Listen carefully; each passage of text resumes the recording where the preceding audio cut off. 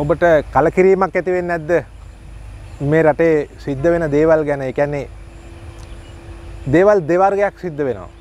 එක පැත්තකින් කට්ටියක් එකොලො ඉතාම හොඳින් මේ සියලු දේවල් මැද්ද ඉතාම හොඳින් ජීවිතය සමරනවා.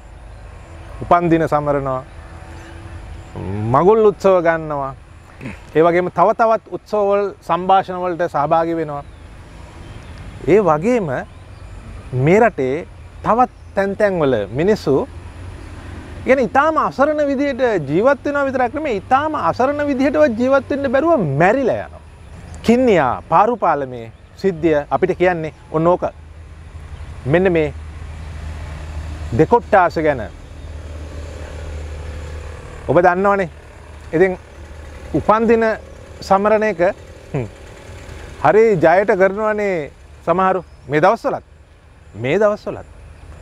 හැබැයි මට අදවදේ කතා කළ අපේ හිතවත් දොස්තර මහත්තේ ටියක් ඈත පලාතකින්දලා කතා කොර ලැගවා සෙපල් මගේ මධ්‍යස්ථානයට ආව. අම්ම කෙනෙකුයි දුවෙකුයි. බෝම දුප්පත් පහේ මිනිස්සු. ආපු වෙලේ ඉඳං මට දැනෙනවා ලූුණු සුවඳක්. ඉතින් මං ටික වෙලාවක් ගේල්ලා ඒ හෙදිය එහෙට මේට වෙනකං ඉඳලා මගේ අම්මගෙන් ඇහ්වා මොකදේ කියලා? එතකොට ඇය කියනවා අද උදේට අපට කන්න දෙයක් නැතුව අපි කෑවේ පානුයි ලූුණුයි. එකන්නේ බත් උයන්න විදිහක් නෑ හාල් ගන්න විදිහක් නෑ. හරි කමක් නෑ. අපි කියමුකෝ පාන් කියලා. පාන් කණ්ඩත් දෙයක් හදාගන්න විදිහක් නෑ. පොල් සම්බෝලයක්වත් හදාගන්න විදිහක් නැතුව ඇතිනේ ඒකනේ ලූුණු ගෙඩියක් එක කාලා තින්නේ පාන්. එතකොට අර ඒ ලූුණු සුවඳ එනකොට මේ මානුෂීය හැඟීම් තියෙන අපේ දොස්තර මහත්තයට මේක මොකක් හරි දෙයක් තියෙන බව තේරිලා සමහට එයා කතන්දරේ දන්නවත් ඇති ඔළුව ඇතුළෙන් මේ මිනිසු කණ්ඩ ඇත්ති උදේට ලූුණු වෙන්ඩ ඇති කියලා බොම සානුකම්පිතවේ කාරණාව අහල තියෙනවා. සහ ඔවුන්ට උදවුත් කරලා තියෙනවා. ඉතින් මොකයි තත්ත්වේ. ඉතින් කින්නියා පාරුපාලමෙන් තිහක් විතර වතුරට වැටිලා තවම හොයාගෙන තියෙන හය දෙනයි මියගිය අය තවත් අය හොයාගන්න ඕනිලු. ළමයිම ඉන්නවා හතර දෙනෙක්. පුංචි පුංචි දරුවෝ. පොත් බෑග්ගෙහෙම තෙමිච්ච ගොඩට ගෙනහල්ලා අදින ඔය ඇතුළේ තියෙන පොත්හෙම ඔය පෙන්නවා. ඔබ නිකං හිතන්න. උපන්දිනයට තමන්ගේ මුණුපුරෙකුට ලක්ෂ ගණන්වල සූට් එකක් කරන් දෙන්න පුළුවන් සිය කෙනකුයි අර දරුවන්ට යන්න පාලමක් නැතුව පාරු පාලමෙන් ගිහිල්ලා වතුරට වැටිලා වතුරේ ගිලිලා වතුර පෙවිලා හුස්ම හිර වෙලා මැරෙනකොට ඒ තියෙන හැඟීමයි අතර මොන තරම් වෙනසක් තියෙනවද කියලා. ඉතින් මේ වෙනස නැති කරන්නනේ නම් දෙයි හාමුදුරුවන්නේ අවුරුදු සිය ගානත් තිස්සේ මිනිසු යුද්ධ කරන්නේ සටන් කරන්නේ අරගල කරන්නේ විප්ලව කරන්නේ ඔක්කොම කරන්නේ. කෝ කෙරුවද ඉති ලංකාව වගේ රටක පොඩි රටක්. බොහොම ජයට හැමෝටම ඉන්න පුළුවන් පරතරයක් තියෙයි පන්තිවල හැමදාම. හැබැයි මේ තරං ලොකු පරතරයක්. එකැනේ වතුරෙන් ජලාසයකින් එගොඩකට යන්න විදිහක් නැතුව මේ උඩින් යන්නේ සමහරු ඒ උඩිනුත් යනවා සමහරු.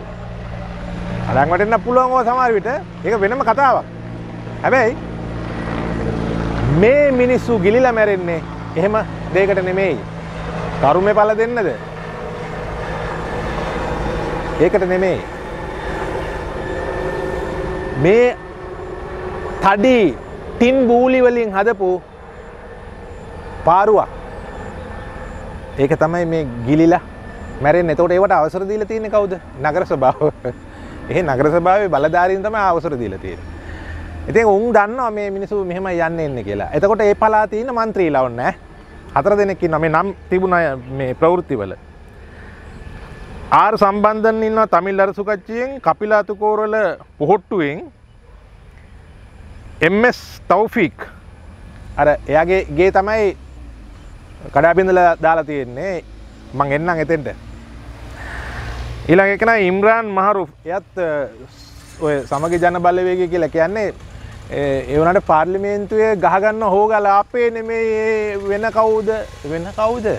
ඕ ඒගැන්නේ දැන් ජොන්ස්ටන් ෆනෑන්ඩු ඉන්නවනේ. අර මිනිසුන්ට අරක්කු දීලා චන්ත කරන මිනිිය පුරුණෑ කළ මිනිසුන්ට හරි ආදරේ මනුස්සෙක්කයා ඉතින් එයා කියනවා මේ අපේ ගොඩට දාන්න එන්න පව්වා අපි පිට දාන්න එන්න පව්වා යකෝ තොපිනේ ආණ්ඩුව කරන්නේ නගර සභාව කාගෙ වුණත් එතකොට මේ මිනිස්සු මැරුණහම මිනිස්සු මැරුණහම වෙන රටක කරන්නේ ඊට අදාළ ඇමතියෙක් මහාණ්ඩුවේ ඉල්ලාස් වෙනවා ඔහොම මිනිසු වැටල මැරුණාම.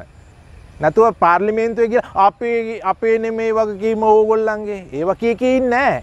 බල මිනිස්සුද බං? බල මොන මිනිස්සුද? බල මොන මන්ත්‍රීලාද? බල මොන දේශපාලකයෝද? කාලකන්නේ තින් සෞදර සෞදරනේ මේවා ගැන අපි කතා කරේ ඊ අපි වැඩසරහනක් කරන්නේ ජවිපේ සුනිල් හඳුන් ඇත්ති සෞදරත් එක්ක දැන් හඳුන් එක්ක අපි කතා කරනකොට ඔහු ඒ සාකච්ඡාව අවසානයේ කිව්වනේ එක දිස්ත්‍රික්කයක තියෙන දේවල් වලින් මේ රටම ගොඩ දාන්න පුළුවන් කියලා. ඒ කතා කළේ ওই ත්‍රිකුණාමලී ගැන.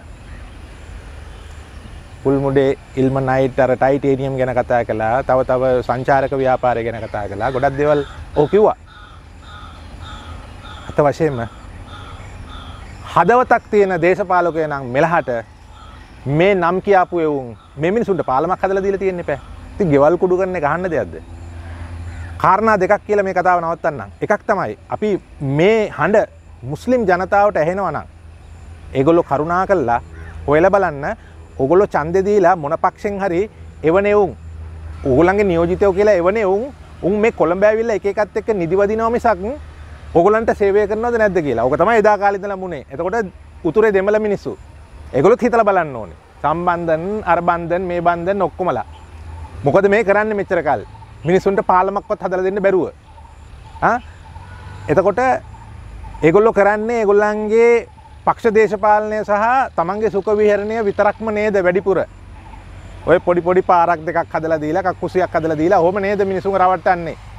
ඡන්ද කාලේට අර ජොන්ස්ටන් කරනවා වගේ අරක්කු දීලා බත් පැකට් දීලා රුපියල් 1000 ඉස්සර නම් දැන් 5000ක් දෙනවා ඇති. ඔහොම. එතකොට මේ රටේ ඉන්න මුස්ලිම් දෙමළ ජනතාව කරුණා කළා තමන්ගේ නියෝජිතයෝ ගැන මීට වැඩිය සැලකිලිමත් වෙන්න මොකක් හරි වුණාම ගෙවල් කුඩු කරන එක එච්චර ඒක තමන්ට ප්‍රයෝජන තරක් නෙමෙයි. යකාගේ ගේ කුඩු කළාම ආපහු ඕගොල්ලන්ගේම සල්ලි හොරකම් කරලා තමයි ඌ ආපහු ගේ හදාගන්නේ. ඉතින් ඊට වැඩිය හොඳයි නේද? හරි මිනිහෙක් තෝරලා එවන එක. හරි පක්ෂයක් තෝරගන්න එක. ඒකයි. ඉතින් ඒ වගේම තමයි මුළු රටේම මිනිස්සු වර්ගයක් ભેදයක් නැතුව මුළු රටේම මිනිස්සු මේ දේශපාලනයට විරුද්ධ වෙන්න එපා. මෙහෙම මිනිස්සු මැරෙන්න පුළුවන්ද කියන්නකෝ 2021 ඈ හිස් අර බැරල් උඩ පාරුවක් හදලා ඒ පාරුවේ අවුරුදු 3 4 5 ළමයි යනවා ඉස්කෝලේ යන ළමයි යනවා වයසක මිනිස්සු යනවා. ඒක පෙරළුනහම ඒ මිනිස්සු මැරෙනවා. ඊට පස්සේ අම්මට සිරි රෙස්කියු ටීම්ස් හැම තැනින්ම අමුදාව අරේ මේ ගිල දඩ බඩගාලා අර මිනිය ගොඩ ගන්න. මිනිය ගොඩ ගන්න එකද වැඩේ? ඒක මුලින්ම ඒ මිනිසුන්ට පාලමක් හදලා දීලා ඒ අනතුර වළක්වන්න තිබුණ නැද්ද? දැන් කියනවා මුල් ගලක් තිබ්බලු ඒකේ ටෙන්ඩර් තිබුණ නැලු. අනේ ඉතින් බලට ටෙන්ඩර් බලක් ගසා කාපුවේ හැටියට ඔව්වා මොනවද බං? ආ? මේ මිනිස්සු මේ මිනිස්සු නැගිටිනවා. ඔය ගේ කුඩු කරලා නිකන් ඉන්නේ මේ මිනිස්සු නැගිටිනවා. ඔය පාර්ලිමේන්තුවත් කුඩු කරනවා දවසක. හොඳට මතක තියාගනිල්ලා. ඕකත් කුඩු කරලා ගිලා බස්සනවා. රව්පගේ මහා ආවේගකින් පාර්ලිමේන්තුවේ කතා කරනවා. කාටදෝ බයිනවා? කාටද මිනිියෝ බනින්නේ? බැනගන්න ඕනේ තමන්ටමයි. තමන්ගේ මිනිස්සු. තමන්ගේ මිනිස්සු බල්ලෝ බලල්ලු වගේ වතුරට වැටිලා මැරෙනවා. ඊට පස්සේ ඇවිල්ලා කොළඹ ඇවිල්ලා. අර හඳුන් කිව්වාගේ සිටිං එලවන්සකට පන්දාකුත් අරගෙන තවත් තවත් දේවල් හම්බ කරගෙන කෝට් සූට් ඇඳගෙන ඇවිල්ලා බොරුවට බහිනව නැගිටලා. මෙච්චර කල් කරේ මොකද්ද? එක එක ආණ්ඩු වලට ජග්ගගා. මේ කොළඹ ආතල් ගත්තා. මං කියන්නේ පිට පළාත්වල ඉන්න විශේෂයෙන් දෙමළ මුස්ලිම් මිනිස්සු ගෙවල් කුඩු කරලා නවතින්න එපා මහත්තයෝ මුන්ට හොඳ පාඩමක් උගන්වන්න ඒක තමයි අපේ ඉල්ලීම මොකක්ද ඒ පාඩම ඒක තමයි මේ වගේ කාලකන්නින්ව දේශපාලනයෙන් අතුගාල දාන්න. රටට ආදරය කරන්න මිනිස්සුන්ට ආදරය කරන්න මේ දේශයට ආදරය කරන්න. මිනිස් ජීවිතවල වගකීම වටිනාකම දන්න මිනිස්සුන්ව පාර්ලිමෙන්තුවට යවන්න. හොඳට හිතාගන්න. මේක තව පාරක් වරදින්න බෑ. ඒකයි අපි හැමදාම කියන්නේ අපි මේක වෙනස් කරන්න ඕනේ කියලා.